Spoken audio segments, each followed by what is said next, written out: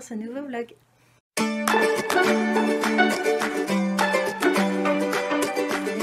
Alors on se retrouve aujourd'hui, euh, du coup on est mercredi 5 mai, il est presque 2h de l'après-midi.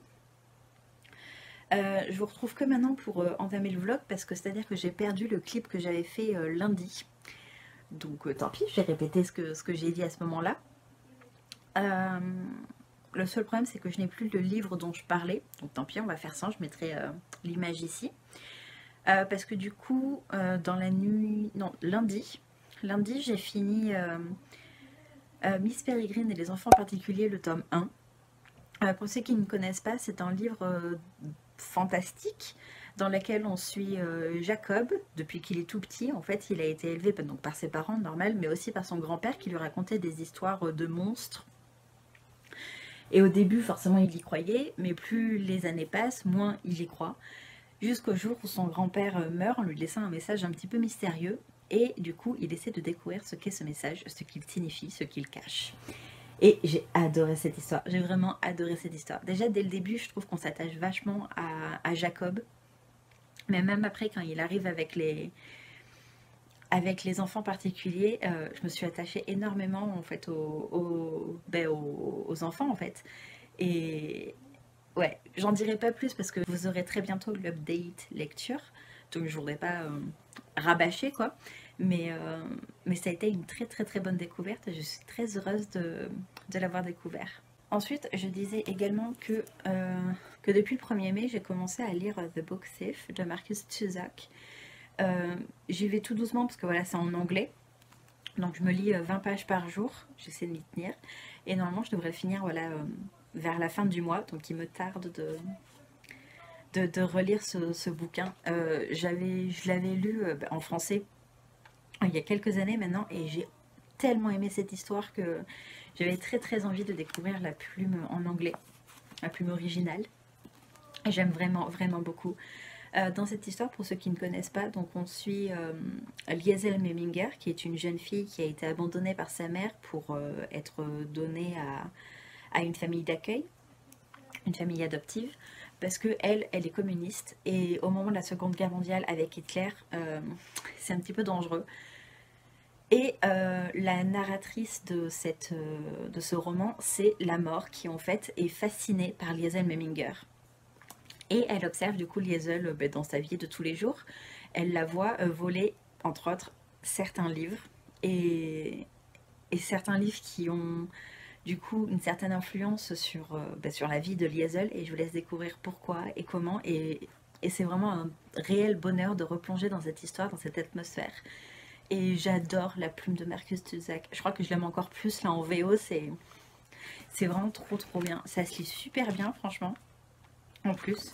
Je, suis vraiment trop trop contente pour, euh, ça. Du coup, voilà pour, euh, pour le rattrapage de lundi. Ensuite, mardi. Euh, du coup, hier, je n'aurais pas eu le temps de hyper lire parce qu'en fait, on a fait plein de choses. on s'est réveillé un petit peu tard parce qu'on s'est endormi un petit peu tard. Et après, on est allé à la bibliothèque justement pour rendre mes bouquins. C'est pour ça que j'ai pas mis Peregrine et pour du coup en prendre d'autres. Euh, d'autres que je vous montrerai euh, tout à l'heure. Euh, on est allé à la pharmacie pour ma soeur et ça, a duré une plombe, mais une plombe. La pharmacienne, je ne sais pas ce qu'elle a, mais elle est lente, mais elle est lente, mais j'ai cru qu'on n'allait jamais ressortir, sachant qu'en plus on doit y retourner aujourd'hui, parce qu'il y a un médicament qu'en plus il n'avait pas. Donc voilà pour pour ça. Après, euh, j'ai fait le montage du coup de la palle euh, du mois de la fantaisie. Donc je vous invite euh, à aller regarder si ça vous intéresse. Ce sera dans le petit i, si j'y pense. Et j'ai enfin eu une très très très très très bonne nouvelle. j'ai enfin été acceptée dans ma formation. Que du coup, ben, je vais pouvoir commencer incessamment sous peu. Il faut encore mettre en place voilà, quelques petits trucs, mais, mais ça devrait voilà, très vite venir. J'espère que ça ne jouera pas trop sur... Euh, enfin, que j'arriverai quand même à gérer voilà, le... la... la mise en ligne de vidéos. Bah, sinon, euh, je diminuerai, hein, ce sera euh, tant pis. Mais voilà, en tout cas, je suis très très très très très contente. Et aujourd'hui, du coup, ben, je n'ai pas eu le temps de faire grand chose. Je me suis réveillée avec un appel de la bibliothèque qui me disait qu'en fait, ils ont reçu Baudelaire 13, donc Les désastreuses aventures des orphelins Baudelaire, le tome 13 de Lemony Snicket. Que du coup, voilà, ils me le réservaient. Et du coup, vu que je viens d'emprunter en fait des livres, ben, je peux pas aller le chercher sans, sans lire mes livres. Donc du coup, je pense que très rapidement je vais lire les BD, comme ça je vais pouvoir les ramener pour euh, prendre du coup euh, les Money Snicket. Ouais, c'est tout un, tout un Big Mac le truc. Donc euh, voilà pour la bibliothèque. Ensuite, du coup, j'ai envoyé les mails que je devais envoyer par rapport à ma formation. Et voilà, et j'ai fait tout le côté administratif que, ça demandait. Donc ça m'a pris pas mal de temps, du coup, d'ailleurs. Et là, la vidéo de la palle, je pense qu'elle va avoir un petit peu de retard. Parce que même si je l'ai mis euh, dès que je me suis levée, en fait, euh, au plus tôt possible, euh, ça met toujours 30 ans à, se, mettre en ligne. Donc là, ça me dit qu'il reste une demi-heure, sachant qu'il est voilà 14h06. Donc dans tous les cas, je pense que ce sera, ce sera un petit peu en retard. Bon, après, c'est pas non plus dramatique, mais, mais voilà, ce sera un petit peu en retard, j'en suis désolée. Vu que le une des catégories du mois de, la fantaisie, c'était de se lancer un défi. Je me suis dit que j'allais lire À la croisée des mondes, l'intégrale. Et du coup, j'ai regardé combien de pages il faudrait que je lise euh, par jour pour pouvoir le finir avant la fin du mois. Il faudrait que je lise 40 pages par jour. Donc du coup, je vais m'inclure ça aux 20 pages euh, de, la voleuse de livres. J'espère que ça se lira bien, euh, parce que c'est vraiment écrit tout petit. Mais on va voir ça mais il me tarde du coup de découvrir cette, petite histoire parce que je la connais un petit peu à travers le film et le, la série mais c'est jamais pareil en livre donc euh, il me tarde vraiment d'en faire mon propre avis et sur ce je crois que je vous ai tout dit donc du coup ben, je vous retrouve tout de suite pour euh, vous montrer les livres de, que j'ai pris à la bibliothèque et donc voilà à la bibliothèque j'ai pris le tome 3 de Zombie de Arthur euh, Depin. Il est vraiment trop trop beau. Il me tarde trop de, découvrir cette suite de saga. J'ai bien sûr également pris du coup le tome 4 qui pareil est trop trop beau avec petite euh, Gretchen. Euh, ils n'avaient pas le tome 5 donc ben, je, le découvrirai plus tard, ce n'est que partie remise. J'ai également pris Le reste du monde de Jean-Christophe Chauzy qui m'a l'air assez cool. C'est un livre post-apocalyptique voilà. Ou en résumé, tout ce qu'il y a, c'est comment garder sa part d'humanité en s'efforçant de survivre. Et il me tarde vraiment voilà, bah, de, découvrir cette petite BD qui m'a l'air pas trop mal. J'aime bien les, dessins. Donc euh, il me tarde euh, de découvrir tout ça. Ensuite j'ai pris Le Prince des Nuages, le tome 2, donc Le Matin des Trois Soleils, de Christophe Galfard. Euh, pareil, j'aime vraiment pas trop la... couverture, mais il me tarde de, découvrir quand même ce, roman, parce que c'est la suite voilà, de ce que j'ai lu ben, au mois d'avril. Et j'avais bien aimé, donc euh, il me tarde de, voir cette suite. Et bien sûr, après, j'ai pris du coup le troisième tome et dernier de la trilogie, Le Prince des Nuages, donc La colère du ciel et du vent, toujours de Christophe Galfard, que pareil, il me tarde de découvrir. L'autre truc aussi que je ne vous ai pas dit, c'est que du coup, ça y est, j'ai ma bibliothèque dans ma chambre. Comme vous pouvez le voir, du coup, ici. Alors ici, c'est tous les livres que j'ai lus. Il y en a euh, derrière aussi. Et ici, c'est tout ce que j'ai à lire ou, à relire. Donc, euh, j'ai à faire. Je suis trop, trop, trop contente.